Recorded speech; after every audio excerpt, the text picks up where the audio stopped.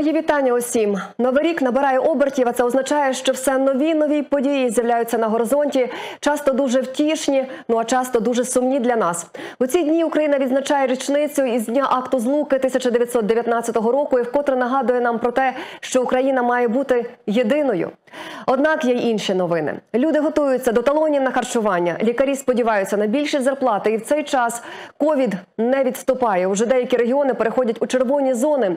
Про ці та інші теми, які мусять насторожити нас і зробити обережними і водночас добрішими один до одного. Про усе це будемо говорити далі. Мене звати Ірина Кудря, і це проект на тижні. Два мільйона, щоб вижити. Як врятувати маленьку волинянку? з антибіотиками з рецептом відколи. Бустерна доза вакцини, коли і за яких умов. Чи буде в Луцьку льодова арена і де? А розпочинаємо з того, що має нас усіх насторожити і згуртувати. Отож, на Львівщині Прикарпатті вже виявили рекордну кількість хворих на ковід. Стільки хворих за одну добу від початку пандемії саме у цих регіонах ще не виявляли. Отож, у результаті Львівщина опинилася на другому місці в країні за кількістю нових випадків, поступившися лише сусідній Івано-Франківській області, де ситуація критична. В Україні пандемія набирає обертів майже 20 тисяч нових підтверджених випадків за останній день. Експерти кажуть, саме штам Омікрон дає такий приріст нових заражень. Тому усіх закликають вакцинуватися і, окрім цього, робити третю бустерну дозу, аби вберегтися. Ми ж вирішили піти іншим шляхом і перевірити, коли і як робити цю бустерну дозу і чому антитіла після двох щеплень можуть не вберегти. З антитілами чи без як потрібно робити третю бустерну дозу вакцини від коронавірусу? Ну і зрештою, чи допоможе вона вберегти нас від цієї четвертої хвилі, якої всі лякають? Отож, прийшли в лабораторію Волинської обласної клінічної лікарні, аби усе перевірити і дізнатися. Скажіть, будь ласка, що ми зараз брали? Взяли зараз такий аналіз, який називається нейтралізуючий білок на антитіла. Коли буде приблизно готовий Сьогодні такий? поставлять постановка і буде в три часа, в два десь так півтреті готове. Через три години забираємо з лабораторії наш аналіз. Цей тест дасть змогу оцінити, чи є після двох доз вакцини, які я робила півроку тому, рівень антитіл, який зможе протистояти вірусу. На аналізі позначка чітко показує, якщо антитіл менше 30, це вкрай мало. Якщо більше 30, результат роботи імунітету позитивний. Наявність антитіл М, G і нейтралізуючих антитіл до спайк білка. Простими словами, це значить, чи є в нашому організмі білок, який буде при контакті з вірусом. А ми всі маємо контактуємо з вірусом, бо це повітряно-крапельна інфекція. До оцих шипів, які ви бачите на картинці. Білки антитіл фактично чіпляються до шипів вірусу і нейтралізують їх приєднання до людських клітин. Створення цих антитіл і є метою захисної вакцинації. Отож, отримавши такий аналіз на антитіла до коронавірусу, відправляємося до свого чергового сімейного лікаря. Наприклад, мій сімейний лікар у поліклініці на відродження.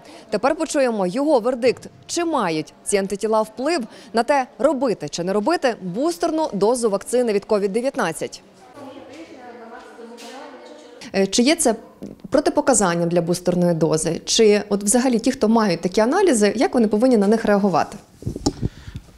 Звичайно, що е, цей рівень антитіл, який у вас є, не є протипоказом до щеплення, тому що е, науково немає доведеного якогось рівня антитіл, який би дав 100% гарантію того, що ви не заразитесь повторно. В управлінні охорони здоров'я наголошують, жодних документів, протоколів і наукових статей про те, яким же має бути рівень антитіл, що здатен таки побороти вірус, досі немає. Але ми завжди орієнтуємося на результати світових досліджень, так ті тих досліджень, які проводяться по всьому світу. І такі рекомендації нам дає Всесвітня організація з охорони здоров'я. Власне, за її рекомендаціями, рівень антитіл не має значення при прийнятті рішення про проведення бустерної дози. Про те, що мутовані штами коронавірусу зможуть пробивати навіть найвищий рівень антитіл, написала відома лікарка-інфекціоністка, докторка медичних наук Ольга Голубовська у Фейсбук. За її словами, мутований штам Омікрон, який з'явився нещодавно, здатен знищити антитіла у розмірі 75 тисяч і проявляє проявляється такий вірус уже через 72 години, маючи найкоротший інкубаційний період. Саме тому вже від 6 січня МОЗ України рекомендує робити усім бустерну, тобто третю дозу вакцини, аби вберегтися від вірусу. На даний момент я рекомендую всім е, своїм пацієнтам отримувати бустерну дозу, якщо від другої дози основної вакцинації пройшло вже півроку. Після введення додаткової дози можна буде отримати новий ковід-сертифікат, який буде діяти впродовж 270 діб із дати введення. Робити щеплення лікарі рекомендують у проміжку від 6 по 9 місяць, тобто коли з моменту другої дози минуло приблизно 180 днів. Цей проміжок в три місяці даний якраз з метою організації цієї роботи, щоб вона була планова, щоб це було зручно як для пацієнта, так і для персоналу, тому що кадровий ресурс теж не є е, безмежним Однак, чи є протипокази і чи потрібно зробити обстеження перед тим, як іти на третю додаткову вакцинацію, і чи буде, наприклад, моя банальна застуда пересторогою щодо щеплення? Зараз е, ми знаходимося в такому періоді, коли е, простуда це часте явище. Е, Відкладати через це введення бустерної дози я би не радив. Особисто на моєму досвіді є пацієнти, які відкладали не бустерну дозу, а вакцинацію. Відкладали, відкладали і довідкладалися до ковіду. Це один із пунктів щеплення. Він знаходиться в поліклініці на вулиці Відродження. В середньому троє-п'ятеро людей щодня приходять сюди, аби отримати третю бустерну дозу вакцини від коронавірусу. Загалом, станом на 16 січня, уже 100 тисяч громадян вакцинувалися бустерною дозою. Якщо говорити про колективний імунітет, цифри виглядають трішки іншими. 14,5 мільйонів отримали дві дози вакцини. Ну а загалом колективний імунітет українців це 46% вакцинованого населення. Сімейний лікар із 30-річним стажем Наталія Цяк каже, кожному пацієнту в центрі вакцинації перед щепленням вона міряє температуру та запитує про стан здоров'я. Були випадки, коли вакцинацію відкладали. Був такий випадок, в пацієнта була аритмія, і ми сказали, що це не має це, це не є срочність. Будь ласка, зробити кардіограму, піти до сімейного лікаря, щоб ви були абсолютно впевнені в тому, що все буде добре. З антитілами чи без, однак відкласти бустерну дозу буде неможливо. У Німеччині, щоб зайти вже до ресторану, потрібно мати сертифікат із третьою дозою вакцини. В Ізраїлі кажуть про введення четвертої. Однак нещодавно ізраїльські вчені насторожилися, адже повідомили, що вакцинували четвертою дозою вакцини 247 працівників лікарні і виявили, що ця доза не запобігла зараженню омікроном. Тож не виключено, що згодом ми будемо робити не лише третю, але й четверту і наступні дози вакцини. Не виключено, що власне для підтримки імунної відповіді з певним інтервалом нам доведеться вводити цю дозу для того, щоб протистояти, сформувати ім- е, колективний імунітет. Щодо своєї власної вакцинації, поради лікаря однозначні. Ну, дивлюся на е, дату здачі аналізу е, 17 число. Я думаю, до 21 числа вам стане легше з вашим горлом. Якраз буде пів, півроку. Я думаю, що ви можете сміло, е, не боючись нічого, щеплюватися. Ірина Кудря, Дмитро Сердюк, Василь Марищук, 12 канал. Ті, хто саме зараз працюють у шпиталі, хто працює у центрах вакцинації на швидкій допомозі, усі вони чекають зарплат, які ще 1 грудня так гарно пообіцяв президент. Суми чималі – 20 тисяч гривень для лікарів, окрім інтернів, професіоналів з вищою немедичною освітою, які працюють в системі охорони здоров'я. Що означає це підняття? Де лікарі братимуть гроші і чи не потягне підвищення, наприклад, за собою скорочення медиків, яких погодьтеся, ну і так не вистачає. У цій нелегкій темі спробувала розібратися моя колега Анастасія Качина. буде збільшення заробітних плат для лікарів. Таку звістку волинським медикам привіз Віктор Ляшко наприкінці грудня минулого року. Мовляв, з 1 січня 2022 року медпрацівники отримують більші, гідні, за словами міністра, зарплати. Йдеться про 20 тисяч лікарям та 13,5 тисяч гривень зарплати середньому персоналу. Як це виглядає з екрану телевізора? Е, Медикам підвищать заробітну плату. У, класно, все, всі молодці. Здавалось би, чудова новина, але є відразу декілька вагомих але. Річ у тому, що лікарі і медсестри медсестри в Україні в більшості випадків вже не є бюджетниками, тож і підняти їм зарплати централізовано неможливо. Начальник управління охорони здоров'я Волинської ОДА каже, уся відповідальність ляже на плечі директорів лікувальних закладів, бо грошей безпосередньо на підвищення зарплат медикам не виділили. Тож звідки брати гроші? На Національну службу здоров'я було виділено додатково 34 мільярда гривень.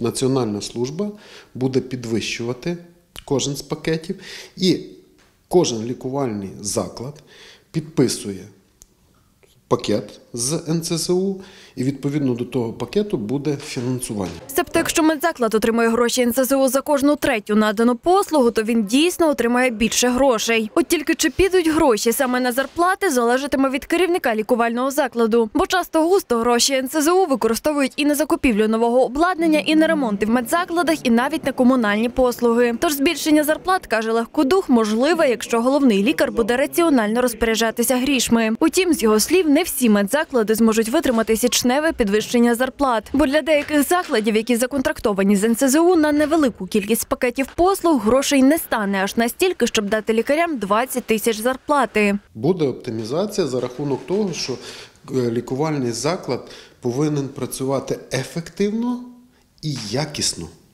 Повинні надаватися медична допомога в межах тих пакетів. Не зможе лікувальний заклад просто утримувати лікарів, які би приходили на роботу, сиділи, нічого не робили і отримували таку заробітну плату. Оптимізація, каже Юрій Легкодух, це не відразу скорочення, себто звільнення. Для початку кожен лікувальний заклад мусить визначити свої компетентні послуги і які підписані пакети для нього є пріоритетними, а які ні. А тоді вже непопулярне рішення. повинен провести в першу чергу аудит кадрів, які в нього є кадри, який об'єм навантаження йде на ці кадри, і відповідно скільки потрібно кадрів для того, щоб надавати ці пакети. Підвищення зарплат вплине і на долю лікарів та медпрацівників, які працюють у селах. Тож, вочевидь, оптимізація торкнеться і їх.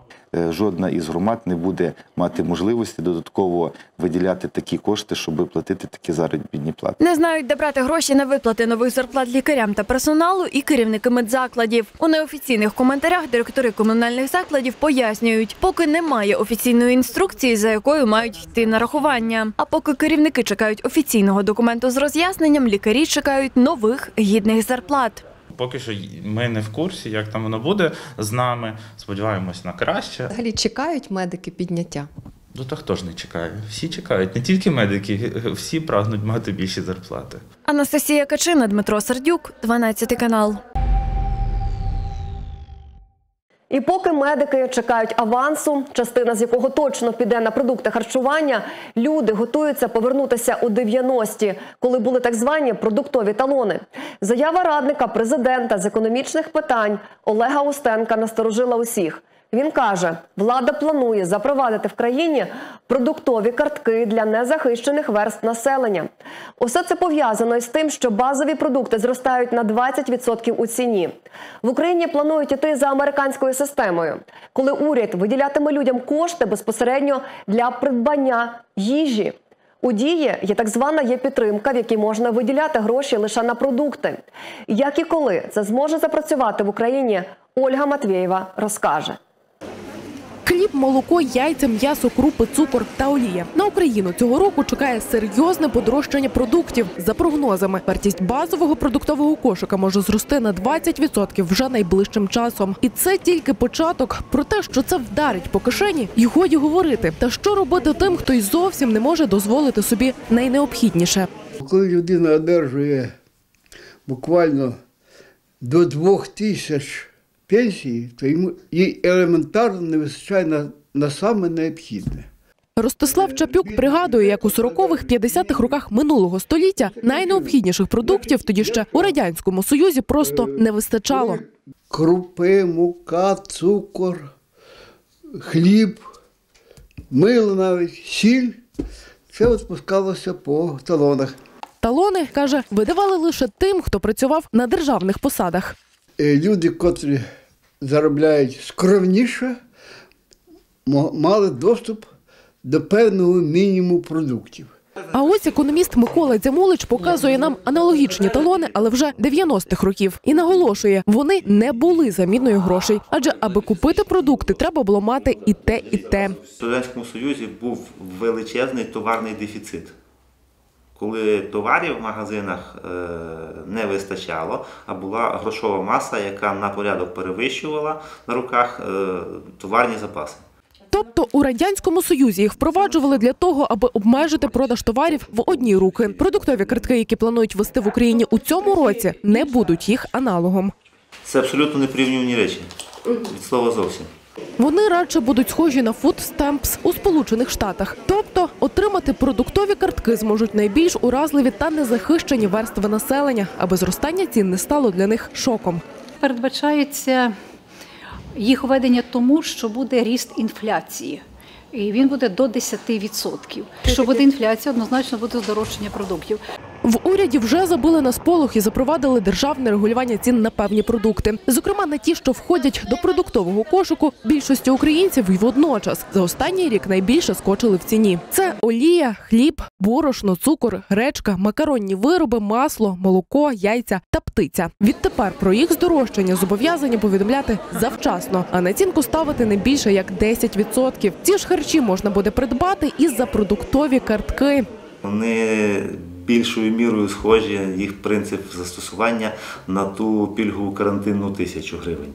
Тобто, з допомогою додатку дія уряд виділятиме людям гроші безпосередньо для придбання їжі, і витратити їх на будь-що інше не вдасться. І в цьому є свої переваги, переконані економісти. Адже як показує досвід, Багатодітні сім'ї, які отримують державну допомогу, використовують її зовсім на інші цілі, розумієте, а не на саме е, забезпечення розвитку своїх дітей.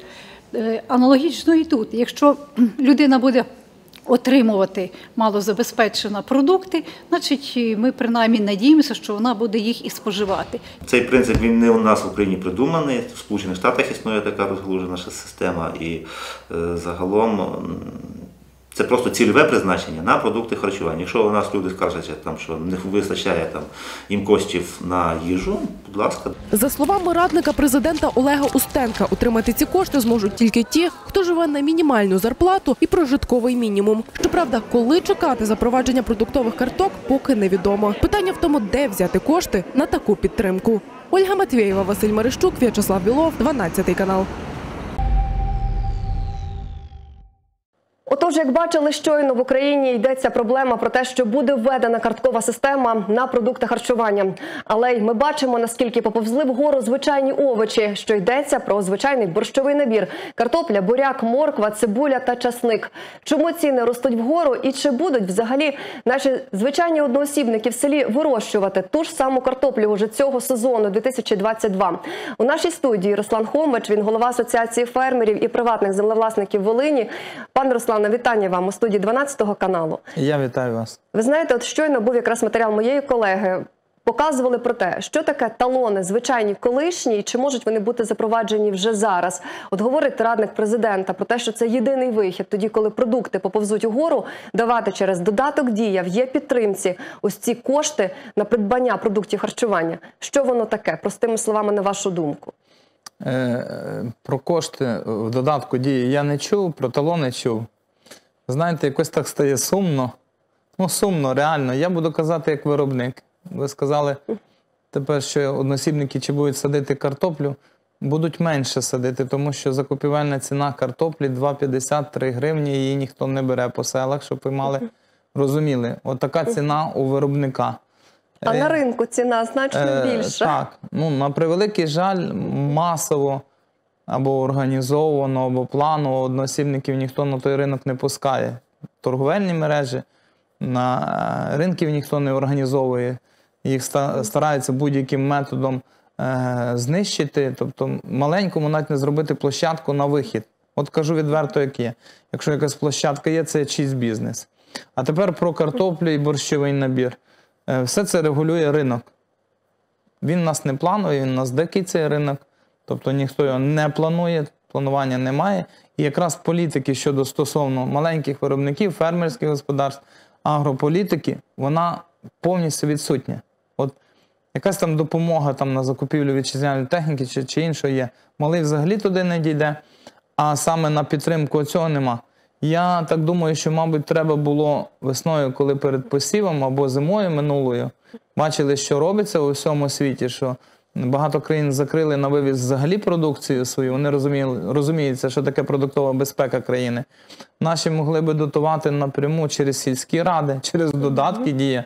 Ті, хто сіє, і обов'язково, наприклад, з, е, з позначкою сільської ради, чи, чи як, що я там хочу посіяти гектар у тієї капусти, мені треба державну допомогу хоча б на закупівлю насіння. Тому що насіння на таку капусту чи на таку морку на сьогоднішній день коштує в межах одної тисячі доларів на один гектар. Розумієте, про що я кажу? Тобто, якщо ти хочеш виростити хорошу продукцію, це не базарний варіант, коли ти пішов там насіння, купив невідомо яке, воно не виросте. І зрештою воно буде не смачне ніяке. Але враховуючи останні от ситуацію п'яти років, е, ми масово закопували або віддавали худобі, хто ще ту худобу має, значить, морку, ту саму капусту, той самий столовий буряк. Люди відмовились сіяти. Я робив обзвон останній тиждень, робив обзвон по своїх селах, по своїх колегах, по членах асоціації фермерів. То ті навіть люди, які мали величезні сховища, холодильні, вони просто їх поставили на минулий рік поставили на замок, зробили зачистку, дезінфекцію, ніхто не сіяв. В цьому році, що буде в цьому році, важко спрогнозувати. Але враховуючи минулий рік, картоплі посадять менше, бо неї наїлися вже.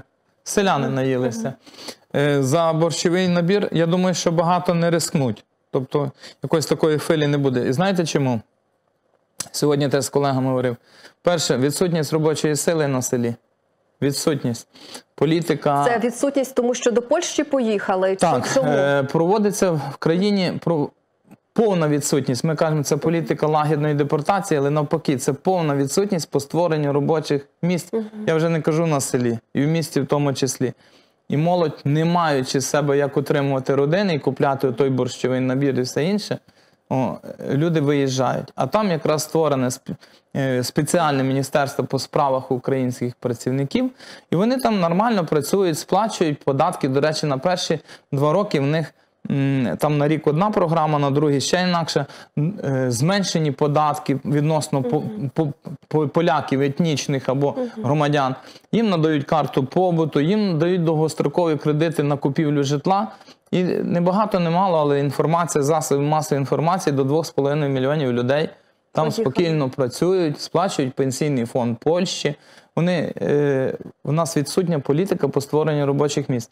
Нас можуть зловити підприємця, добре його присанути, щоб він перестав бути підприємцем. Тобто перевірками і всім остальним. Встановленнях касових апаратів. Да, по всьому. Я навіть я, я, я, до речі, касові апарати, якщо для маленького людини, для ФОПа в селі запровадити касовий апарат, вони хочуть це зробити, щоб він з касовим апаратом за цією морквуса, він, по-перше, реєструватися не буде. Він не буде. Він краще сіяти не буде і реєструватися не буде. Він просто поїде в Польщу. Ви знаєте, от, пане Руслане, ми вже зачепили такі от вже перші, як то кажуть, проблеми. Перше, це приблизно на один гектар, щоб посіяти моркви, це тисячу євро на насіння. Другий це, фактор Це від, від 800 до 1200 доларів Тільки на насіння. насіння на один гектар. на один гектар. Ми уявимо Це, собі. це в середньому, що на столовий буряк, що на морку, що на цибулю чи на капусту. От ми сіємо тільки так, таким, інакшим його не варто сіяти. Потім робочої сили не вистачає. Це ще один фактор, що масово ми не будемо мати овочівництва як такого. Далі, які ще є фактори ризику, тому що я думаю, і про пальне ви теж мусите сказати. Е, ну, е, все, що в цій, в цій капустині, будемо казати, за неї є, це і паливомастильні, і запасні частини.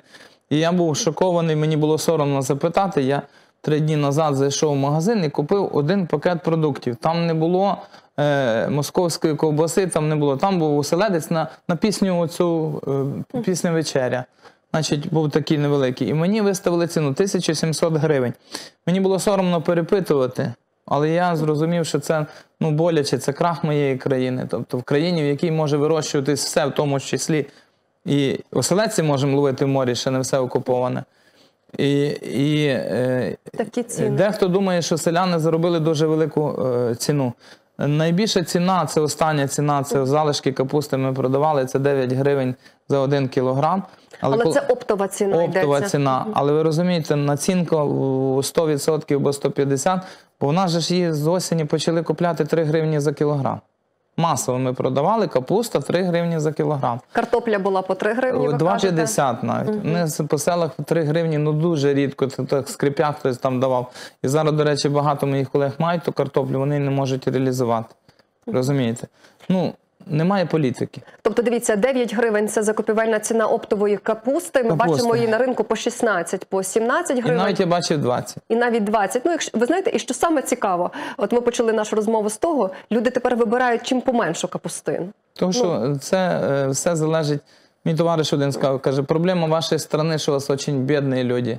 Це сказав білорус, який е, якраз переробляв нашу продукцію. Вже його нема на превеликий жаль, але така унікальна людина сказав, каже, проблема е- е- елітних речей, таких продуктових, мається на увазі хорошої якості, за смаком, те, що люди бідні. Ну, реально, вони не можуть собі дозволити нормально харчуватися нормальними овочами, фруктами. А це, ну, я кажу так, як є, на превеликий жаль. І не можуть їх вирощувати. Тобто це розкіш. Дивіться, по 16 гривень навіть піти купити моркви, так, от плюс-мінус. Це те, що показує нам е, будь-яка торгівельна мережа. Так, її не На буде. селі скільки ця морква? От Ви Дивіться. кажете, що її навіть закопують і дають худобі. Е, Справа в тому, що е, минулі 5 років так, така була ситуація, що люди цього року не сіяли. Бо ж закопувати можна рік, два, три, чотири, колись вже перестають закопувати, бо це повні збитки. Ми, на превеликий жаль, не знаю, чи як. Ми минулого року взагалі мали би не посіяти, але ми сіємо, бо в нас своя проблема. Ми, у нас на сході хлопці люблять борщ, все. Тобто ми посіяли для того, щоб ділитися своїми колегами. Е, невелику дуже кількість. Питання в тому, що моркви точно на ринку нема. Її не можна знайти от по сусідніх областях. Значить, у мене е, в родича є мережа магазинів, ми шукаємо, ми не можемо знайти. Моркви вже немає. Столовий буряк теж десь доходить, капусти практично немає, знайти не можна. Тобто я розказую про такі речі, е, що нема забезпечення овочами. Тобто е, відсутність політики по ем, підтримці маленьких, середніх фермерських господарств, великі компанії, взагалі, де нема людей, де тракторист обробляє до 5 тисяч гектарів механізатор, вони не будуть це вирощувати. Бо там маса, це треба маса людей, це треба жити з тією капустою, це на полі, це її треба возити, глядіти, як дитину в холодильники. Окроплювати все Е, решта. Дай Бог там, знаєте, Все, але питання в тому, що це дуже витратні речі, і коли ти там рік-два несеш збитки, ти від нього відмовляєшся. Так от я кажу, що воно буде ще дорожче. Я не видумую, я просто кажу ще того, що вже румині, е, румини до мене, Молдова дзвонить. Вони попередні роки приїжджали, купляли і везли до себе. Тобто спочатку Румунію, потім везли в Італію звідти. Тобто, ну отак, в Молдову. Через Молдову вони вивозили, але наші овочі вони дзвонять, у них теж немає.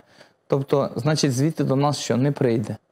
Тобто ми залишаємо в такому, залишаємося в такому вакуумі, фактично. І в себе немає, і ніхто інший нам не завезе. Ну погодьтеся. Е, Це вакуум і коронавірусна інфекція, тобто це пандемія всесвітня вона внесла, того що там люди бояться ну, наймати людей, їх немає фізично. Дуже багато людей загинуло, хтось втратив здоров'я.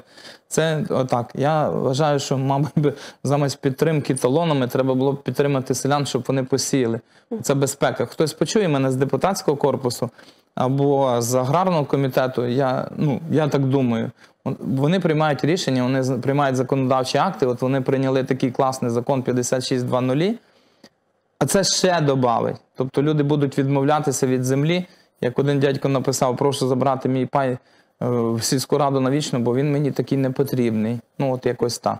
Ви знаєте, дуже багато експертів говорять ще про інші, е, як то кажуть, сторони цієї медалі, чому в нас не буде овочів. По-перше, стало вигідно вирощувати пшеницю і те, що дає нам олію. Ну, це йдеться про олійні, е, так званий ріпак і соняшник. У нас цього масово є на Волині. Тобто це й дає більше прибутки. Ми Так. бачимо, скільки е, Україна експортувала зерна. Тепер говорять, що нас вже скоро і зерна не буде, тому що хліб поповз вгору.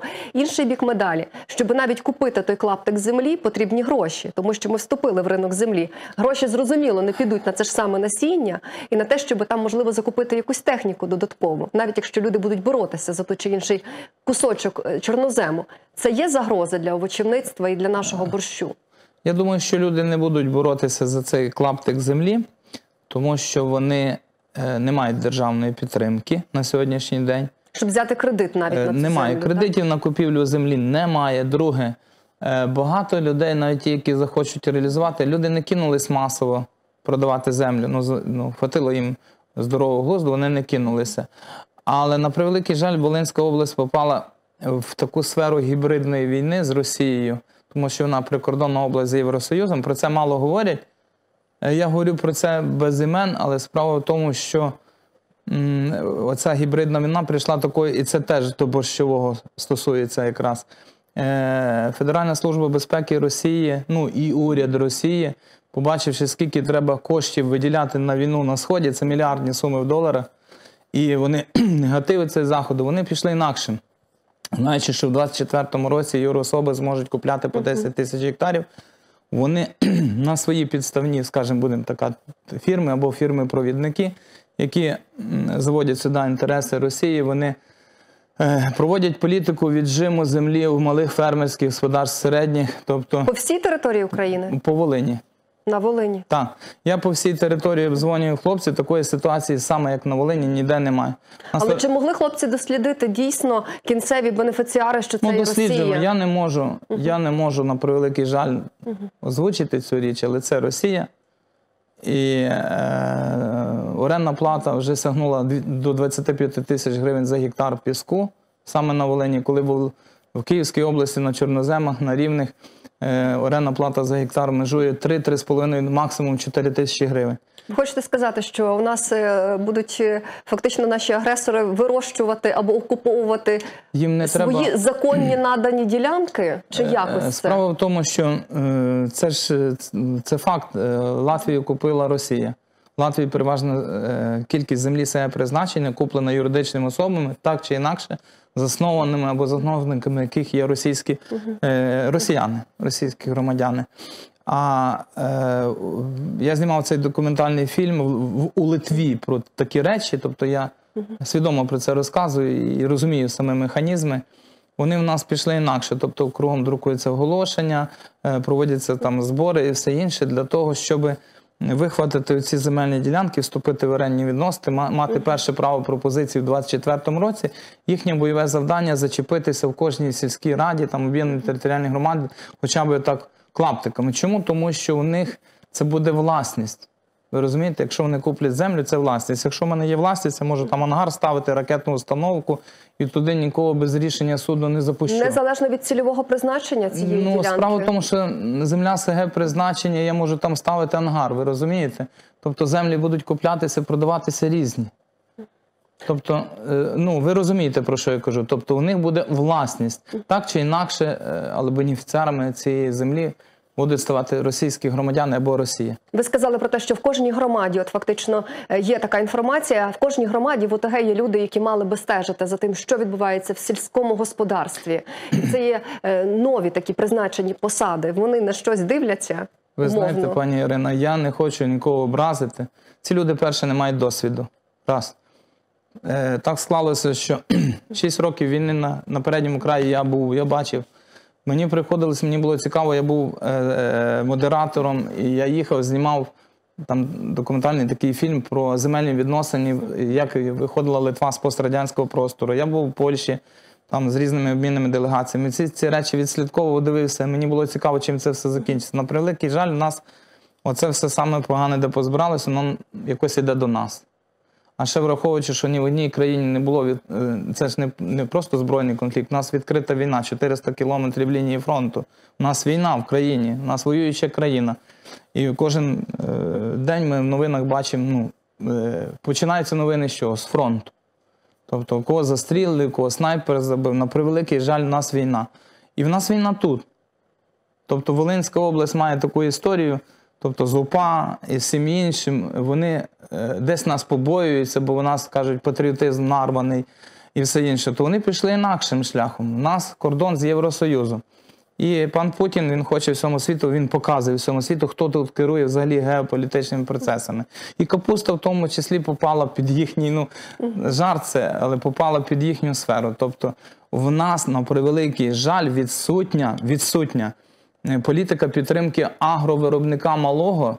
Чому малого І в я тих же кажу? людях, про яких я питаю, в тих же людях. малого, розумієте, від от тих особистих селянських господарств їх взагалі не можна оподатковувати. Отак відверто.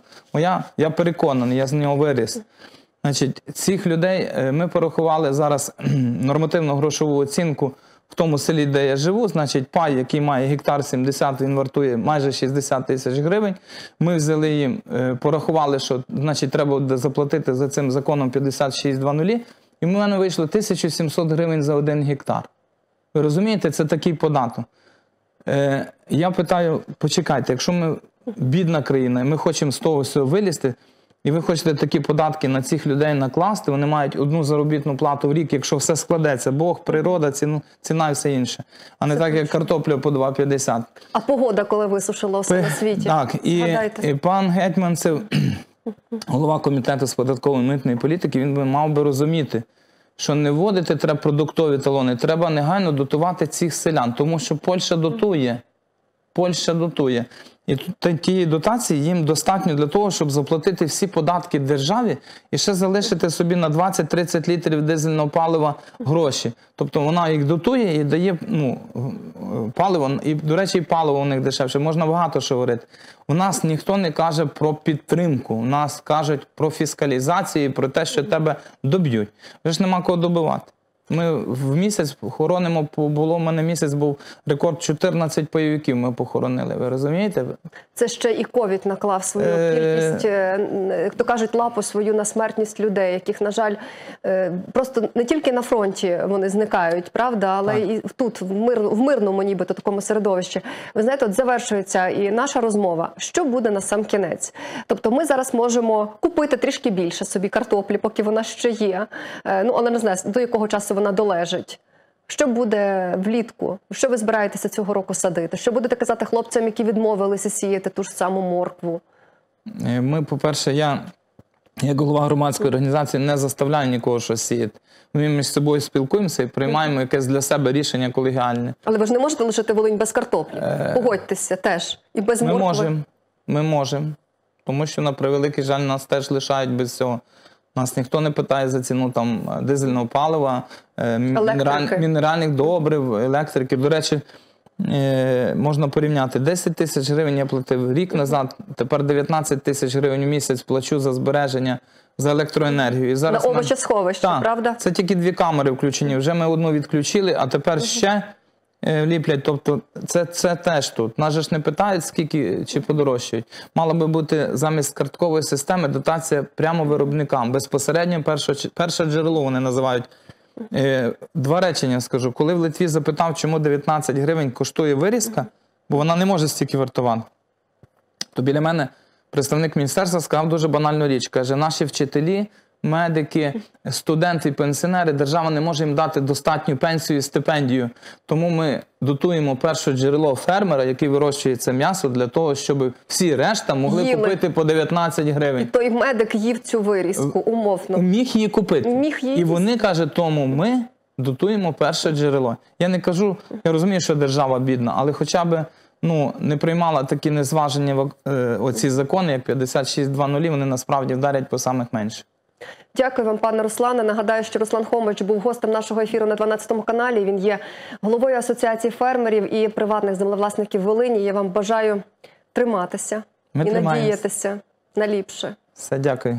Ну а на продовження будемо говорити про те, як отримати гроші в додатку Дія на є підтримку. Уже з 24 числа люди, особливо пенсіонери старшого віку, зможуть купити за ці ковідні гроші собі ліки в аптеках. Чи можна отримати звичайну пластикову картку, якщо у вас немає модного смартфона, а є звичайний кнопковий телефон? Моя колега Ольга Матвієва спробувала довідатися і усе перевірити. Такий звичайний телефон. Звичайний, але ковідну тисячу з таким не отримаєш. А пані Ярослава вакцинувалася ще наприкінці минулого року. Хоча розповідає, мотивацією стали не гроші. Мене найбільше хвилює це здоров'я, звичайно. Додаткова тисяча гривень не завадила. Жінка ділиться з радістю витратила б її на ліки. В аптеках поки ж віртуальні гроші не приймають, але в Мінцифри обіцяють до кінця місяця ситуацію виправити. Думаю, може якусь книжку. Ну найбільше мене цікавить словник. У теперішні ті наголоси української мови, то мене просто цікавить, чи вже впорядкували, чи знову робиться отаке от асорті. Е, Сказали також, поки що не можна. Не можна не через те, що в книгарнях ковідну тисячу не приймають, а тому, що поки отримати її можна лише з допомогою додатку Дія. Говорить, «М, ми ж з вашого сертифікату паперового не знімемо.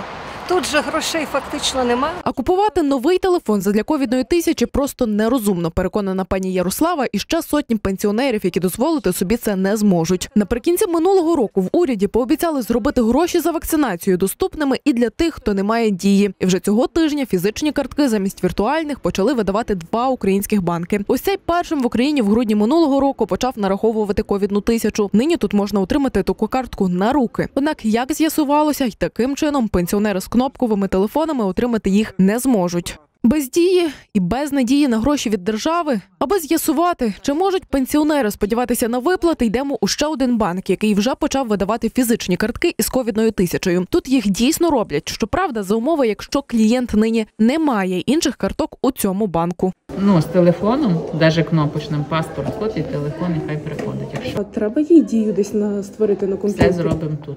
Фактично, кожен банк в Україні, що приєднався до державної програми є підтримка, а таких вісім, може випускати фізичні картки для одержання коштів. Асоціації українських банків очікують, що до цієї ініціативи долучаться й інші банки, аби усі вакциновані пенсіонери таки змогли отримати тисячу гривень від держави. Ольга Матвєєва, Василь Мерещук, 12 канал. Школа за 120 мільйонів гривень. Третя на Поліссі, в яку буде ходити понад 400 дітей. Я думаю, чимало школярів у містах мріяли би про такі просторі коридори, великі шкільні кімнати. Однак не все так добре, як виглядає на картинці в мережі. У школу ще не зайшли діти, як вже у підвалах стоїть вода, і подекуди навіть пішли тріщини. Чому новобудова уже з проблемами? Довідувалася моя колега Ольга Матвєєва, яка і побувала у Башликах, що на Ківерцівщині.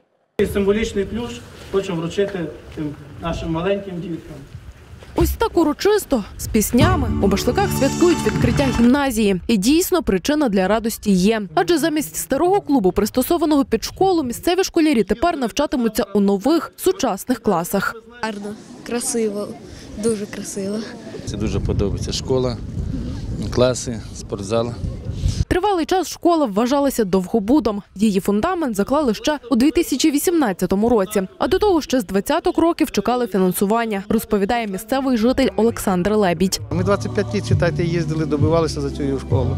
Щоправда, нині, коли врешті добилися свого, не надто раді, бо школу ще не встигли відкрити, а тут вже є загроза для здоров'я школярів. У підвалі вода через постійні підтоплення вже невдовзі у новобудові може з'явитися грибок, від якого так мріяли втекти із попередньої школи. Причина цьому неякісно виконані роботи, каже чоловік. По-перше, отліви не, не зроблені так, як треба. І от і вся вода збирається під фундаментом.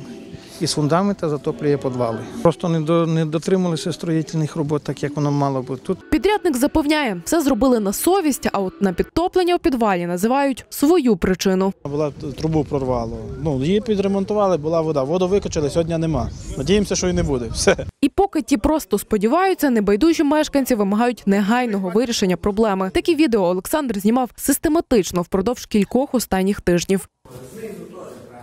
Да.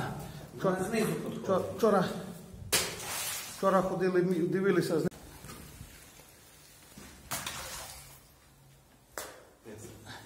На середину такого сюди. Ми самі цю ошибку зробили, хай вони це і справляють. То їхні проблеми. Вже ми скільки, то три неділі.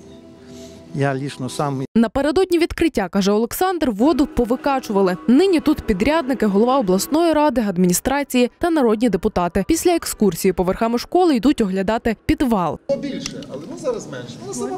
Поки підрядник твердить, Нема проблеми. владці обіцяють таки з'ясувати причини Тому якщо щось звинить забудовника, наприклад, як підтоплення підвального приміщення, це все за його кошт буде усунено. Обов'язково найближчий час. До слова, ця школа одна із найдорожчих в області. Що це один із кращих проєктів, е, один з найдорожчих проєктів, якщо говорити про сільські школи, тому що він е, понад е, 100 мільйонів гривень. Школа розрахована на майже 400 школярів. В її стінах навчатимуться близько трьох сотень башликівських дітлахів. До того ж, приїздитимуть тепер сюди із сусідніх сіл. Структурний підрозділ села Дубище закривається, тому що батьки не виявили бажання більше в старому тому приміщенні вчитися. І е, е, місцева влада, Цуманська селищна рада придбала шкільний автобус. То дітей будуть 34 дитини там в Дубищах, будуть довозити сюди до нас в Башликівську гімназію. Щоправда, поки приміщення не здали в експлуатацію, башликівські школярі навчаються дистанційно. Ольга Матвєєва, Дмитро Сердюк, 12 канал. Від 1 січня Міністерство охорони здоров'я України контролює усіх лікарів стаціонарних відділень щодо призначень антибіотиків. Йдеться про 29 лікарських препаратів. Ну а вже з 1 квітня будуть штрафувати, якщо аптека продасть препарат без рецепта. Чому досі Україна була чи не єдиною європейською державою, яка продавала антибіотики без рецепта, і то кілограмами? Лишень уявіть, за рік фармацевтичний бізнес на продажі антибіотиків заробив понад 6 мільярдів гривень. Чому купувати антибіотики без рекомендацій лікаря небезпечно? І чи вимагає ковід лікування цими препаратами? Розкажемо.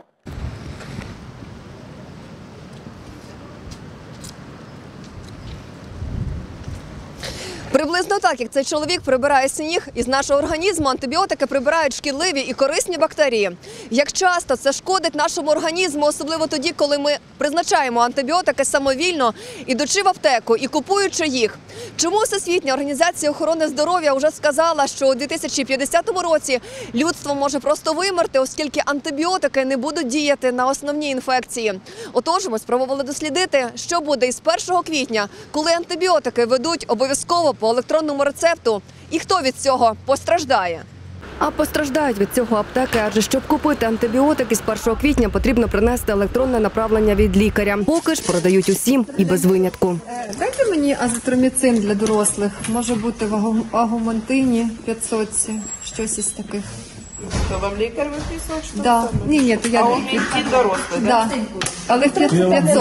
30 таблеток 894 Що, що? 500. 10 таблеток 200 А у Ментіна немає, може бути, на- мабуть, що... Буде ще десь мінус гривень 12, то десь буде 200... Так, що це? А мабуть, що.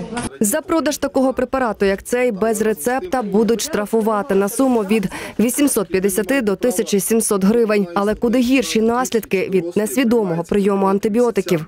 В житті був клінічний випадок, де пацієнт самостійно собі призначив такий препарат, як бісептол. Всі знають цей препарат. От, він е, з радянських часів нам всім відомий. Так пацієнт самостійно собі лікував респіраторну інфекцію цим препаратом, і у пацієнта виник повний агранулоцитоз. Пацієнт помер е, від е, кровотечі, а, шлунково-кишкової кровотечі. З 1 січня усі стаціонари, такий як цей ковідний шпиталь у Боголюбах, веде облік усіх призначених антибіотиків. Йдеться про 29 лікарських засобів. Олег Яковенко, через відділення якого пройшли сотні пацієнтів, каже, до кожного пацієнта має бути підхід, однак усе залежить і від протоколів лікування, які змінюються. Хоча ми пам'ятаємо, що навіть коли були перші протоколи лікування коронавірусної інфекції, то навіть в протокол лікування входив на початку а, антибактеріальний препарат. Азітроміцин в комбінації з препаратом, такий як е, плаквініл, ви знаєте. Але разом з тим це вже історія, це вже е, згідно доказової медицини доведено, що це є неефективно і недоцільно. Скільки антибіотиків споживають українці, точно невідомо, проте є аналіз витрат. У 2020 році загальний обсяг усіх продажів і закупівель цих препаратів перевищив понад 6 мільярдів гривень, і це на 40% більше ніж роком раніше. Причиною міг бути ковід, який часто вдома лікували антибіотиками. Однак, за словами лікаря-пульмонолога із багаторічною практикою, лише 20% пацієнтів із ковідом потребують лікування протимікробними засобами. Є золоте правило. Якщо протягом трьох діб, ну 72 години, препарат не діє, значить ми не то лікуємо і не тим лікуємо. У більшості європейських країн отримати антибіотик без рецепта лікаря практично неможливо, хоча правила відпуску відрізняються. В усьому цивілізованому світі будь-який лікарський препарат вимагає наявність рецепта. Окремий, окремий їх порядка десятка препаратів, які є безрецептурні. Такого в Європі ніде не зустрічав. Тобто отримати ліки без рецепта в Європі дуже дуже складно. Головне, з чим почнуть боротися в Україні, це антибіотикорезистентність. Простими словами, антибіотики перестають діяти. Через надмірне і необґрунтоване їх вживання мікроорганізми виробляють своєрідний імунітет і стають нечутливими до ліків.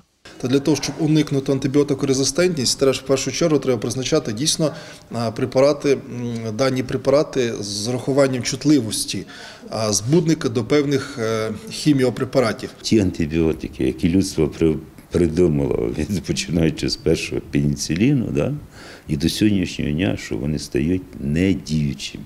У Всесвітній організації охорони здоров'я насторожені, адже людство прямує до ери без антибіотиків, коли, наприклад, на серйозні інфекції чи травми ставатимуть причиною смерті. Зокрема, це стосується країн, де антибіотики може придбати будь-яка людина без рецепту лікаря. У таких державах поява та поширення супербактерій дуже висока. Сімейний лікар Ярослав Оштук каже, без антибіотиків у практиці сімейного лікаря поки не обійтись ніяк. Вчора прийом жодного антибіотика, наприклад. А можливо, буде прийом, де буде 3-4 анти- рази. Е, А ще медики наголошують, якщо ви вже пили антибіотик однієї із груп, ви зможете повторно їх вживати лише через квартал. Поки у світі існує чотири групи антибіотиків, п'яте покоління цих препаратів в розробці, і тут головне пам'ятати, за ким залишається останнє слово за мікроорганізмами чи за людством, яке зможе побороти інфекцію за допомогою правильно призначених антибіотиків. Ірина Кудря, Дмитро Сердюк, Василь Марищук, 12 канал. Сніг, мороз крига незмінні атрибути зими, але крига і лід тепер можуть бути в Луцьку постійно і тож в одному місці. Йдеться про льодовий палац, який побудують в місті на вулиці Глушець. Загалом на такі проекти в Україні вже передбачили понад 5 мільярдів гривень. Поки ж міська рада проголосувала за виділення лише 50 тисяч гривень на підготовчі роботи. Якою і де може бути ця льодова арена? Дізнавалася Марія Вавренюк. Зараз на місці колишнього іподрому порожньо, але ще трохи і тут можна буде не просто гуляти, а, наприклад, кататися на ковзанах. На Волині є одна крита ковзанка снігова королева у Луцьку. Її збудували у 2007-му. Ще через рік зробили дах. Поки що це єдине місце в області, де можна займатися хокеєм. Саме тут зустрічаємо Матвія, який мріє стати кращим у цьому спорті, тому старається не пропускати жодне з тренувань. В нас є в понеділок, вівторок, четвер і п'ятниця. Як і всі, кого бачимо на льоду, займатися цим спортом хлопець почав ще з трьох-чотирьох років. Нам розповідає про великий хокей і дорослих, які його надихають. Зараз е, я дивлюся і беру приклад з них чуть-чуть. Я хочу спочатку перейти в КХЛ, як оці от старші зараз грають, а потім хочу е, стати капітаном одної команди Пітсбург. За нею я багато що дивлюсь і хочу бути капітаном команди. Хокейний спорт не з легких. Лука розповідає, чому обрав саме його. Тут треба більше концентрації над силою. І мені це більше подобається, чим футбол і волейбол. Ну, баскетбол я також добре граю. А ще хокей не дешевий вид спорту. Амуніції потрібно багато, і дитяче спорядження щороку слід оновлювати, бо з нього просто виростають. Все це на плечах батьків. Щоб вбрати юного спортсмена у пристойне спорядження, з гаманця доведеться викласти від 5 тисяч гривень. Державної підтримки практично немає. Частково допомагає Луцькій федерації міська рада. Та й взагалі каже тренер, український хокей переживає нелегкі часи. Проблеми всередині самої федерації. И вот они сейчас там сперечаются между собой, а мы как бы от этого страдаем. То, что нету ни нормального чемпионата Украины среди взрослых команд, все разделилось пополам. Тренер говорить про інцидент, що трапився перед турніром у Будапешті, де виступала українська збірна. Борис Колесніков, президент хокейного клубу Донбас, олігарх та колишній віце-прем'єр-міністр в уряді Януковича Азарова наказав своїм гравцям покинути збірну. Причинами такого рішення називають шантаж та розбіжності в поглядах з федерацією. Після цього він створив свою суперлігу. Туди увійшли сім підконтрольних бізнесмену клубів. Втім, офіційна федерація її не визнає. У Луцьку цього не коментують, але твердять, нова арена потрібна. Звісно, буде добре. Вона потрібна. Це сучасна, нормальна спортивна арена. Відповідає всім нормам і всьому, які можна проводити змагання, навчання, тренування, катання, і все. Це має бути. У Луцьку хокей представляє клуб «Спарта» із малими й дорослими любителями близько 150 учасників. Тренер каже, для хороших результатів потрібне суперництво. Тогда вот эти же дети будут смотреть настоящий хоккей и тоже расти, потому что без этого не бывает. А хоккейное движение, это, ну, оно затягивает. Вот, когда приходишь на рабочий каток, где ходят все дети с клюшечками, бросковые зоны, то есть там целый день кипит жизнь.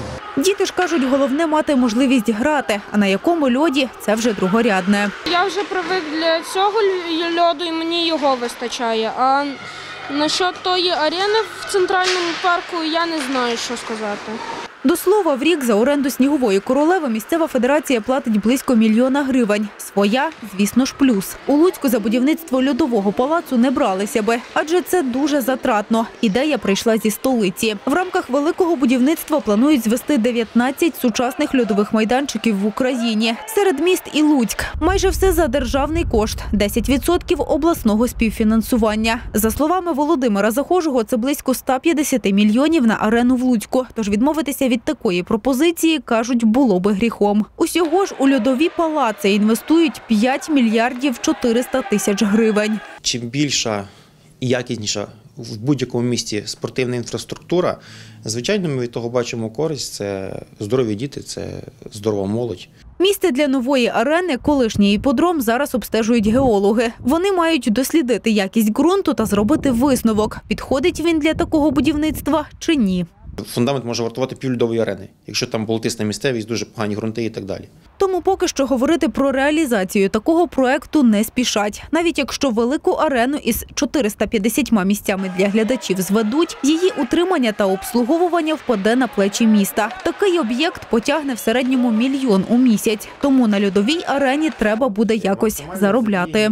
Це не дешеве задоволення отримання такої споруди, тому що це лід, який має постійно бути, скажімо, холодильними установками охолоджувати, щоб він був діючим був нормальним. Тому кажуть, будуть всіляко популяризувати та розвивати хокей на Волині, а ще започатковувати тут нові види спорту, наприклад, фігурне катання чи перегони на ковзанах. Марія Вавренюк, Дмитро Сердюк, 12 канал. Я сподіваюся, що разом із вами ми зможемо завдяки нашому наступному матеріалу і останньому в цьому проєкті на тижні врятувати життя малесенькій Улянці. Дівчині всього два роки, і вона хоче жити. Кошти на лікування чималі це 2 мільйона доларів. І якщо в середньому кожен українець заплатить лише 10 гривень, це вбереже життя дитині і дасть шанс її матері жити далі. Про непросту історію із життя найдорожчого, що в нас є дітей. Далі. Що ні? Додому ні. А в Польщі добре?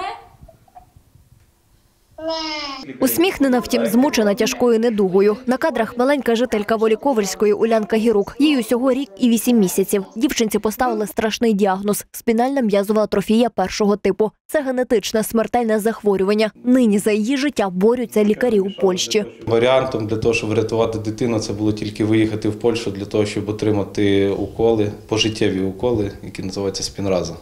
Для того вони виїхали перед Новим роком в Польщу, зробили всі необхідні документи для того, щоб дитину прийняли в клініку. Улянка – єдина донечка у сім'ї Гіруків. Її появи на світ усі чекали з нетерпінням. Тож, коли доня народилася, не тямила себе від щастя. Тім йшли місяці, і мама почала помічати певні відхилення. М'язова слабкість, е, закидання голови, висування язичка було, висування в фізичному і в психомоторному розвитку. Десятки обстежень, купа витраченого часу. Деякі лікарі запевняли, що дівчинка зовсім не схожа на тих, у кого така недуга. Та зрештою аналізи підтвердили страшний діагноз. В Україні таку недугу не лікують. Якщо не лікувати, виникає просто дихальна недостатність і дитинка може померти внаслідок ослаблення м'язів, які забезпечують дихання дитини.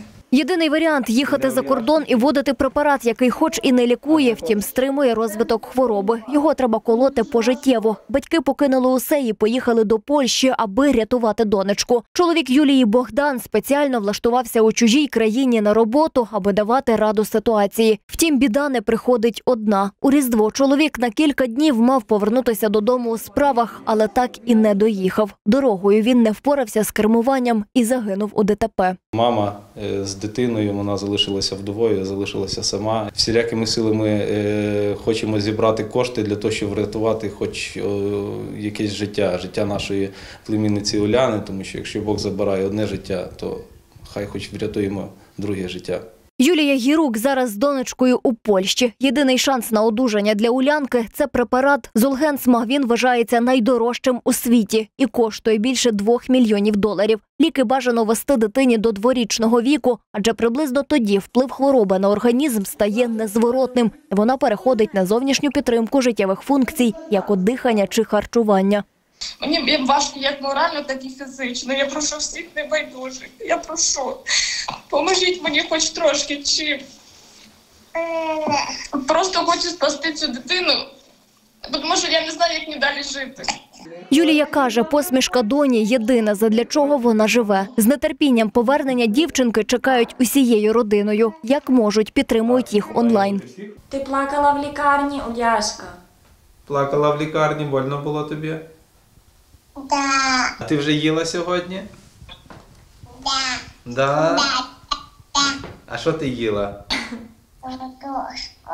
Картошку? Іпку. Рибку їла. Ти любиш рибку, кіць? Да. Да? Вже готує цукерки для сестрички і її двоюрідний братик. А як я можу дати? Ну то скажи, хай приїде. Кажи, приїжджай до мене, я тобі дам цукерку. Приїжджай до мене, да? Тобі дам чучелку. Для Улянки важлива кожна хвилина. Часу лишилося обмаль. Родині якнайшвидше треба зібрати 2 мільйони доларів, аби врятувати дівчинку, яку родина донестями любить і яка є єдиним продовженням загиблого татка. Дівчинка сильна, позитивна, емоційна, сміхлива, грайлива. Ми її дуже любимо. Є вже десь зібрано близько 2 мільйонів 700 тисяч гривень. Відлік часу для маленької волинянки йде на секунди. Кожен з вас може подарувати їй шанс на життя. Долучитися до допомоги можна за такими реквізитами: 51 68 74 51 19 79 53 49. Усі деталі можна дізнатися у Станіслава Гірука. Мобільний телефон 097 52 05 99 0. Приїдеш до Тимофійка, до Артемчика? Да. Ну ми все зробимо, щоб ти приїхала. Ангеліна Гущина, В'ячеслав Білов, 12 канал. Вірю, що ваші щирі серця відгукнуться на цю проблему, і ми вже дуже скоро в своєму наступному випуску будемо вам розказувати, як вдалося одужати цій маленькій волинянці, але спільно лише з вашою підтримкою. Саме цією новиною проект на тижні прощається з вами на якихось коротких сім днів, аби зібрати вам актуальну і корисну інформацію. З вами була Ірина Кудря. Я хочу вам побажати, як завжди, традиційних обіймів від рідних, які поруч біля вас. Здоров'я, кожному сказати, бережіть себе і будьте добрішими один до одного. Побачимось.